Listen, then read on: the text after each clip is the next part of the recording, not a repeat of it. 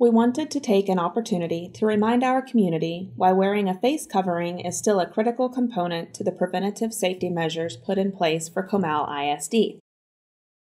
In July, the Texas Education Agency released guidance that stipulated that when a person tested positive for COVID 19, as long as everyone in the classroom was wearing a face covering, they would not have to be sent home for the 14 day viral incubation period.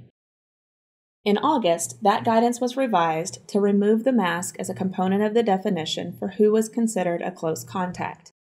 Instead, TEA is relying on time and distance factors to determine who would be a close contact. Anyone who is within six feet of the individual for more than 15 minutes is considered a close contact. Individuals who are able to maintain distance are excluded from being sent home as a close contact. If it is determined that you are a close contact, you must remain off campus for the 14 day incubation period of the virus. If an individual develops symptoms during that time, they should seek medical attention and inform their doctor of their status as a close contact to a lab confirmed individual. They will still be required to remain off campus for the duration of the 14 day incubation period, as COVID related symptoms may develop or worsen at any point during that time frame despite receiving a negative test result from their physician. An individual may receive a negative test result for multiple reasons, the primary one being that the test is administered too early in the life cycle of the virus, so there is not enough viral load to produce an accurate test result.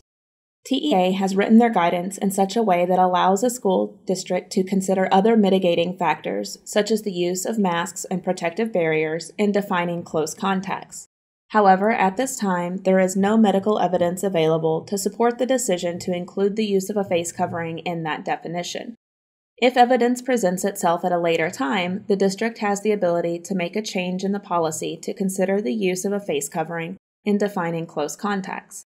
Until that time, the definition of close contact will remain dependent on distance and time being the critical factors. While the use of a face covering does not eliminate someone from being considered a close contact with the positive individual, it does minimize the risk of viral spread on campus, which reduces the number of positive cases we will see stemming from exposure. Face coverings are critical in common areas of the building where someone may cough or sneeze and another individual may come in contact with respiratory droplets. When combined with frequent cleaning and good hand hygiene practices, Face coverings are our best defense in keeping our schools open by reducing the number of positive cases on campus so that close contacts do not have to be considered.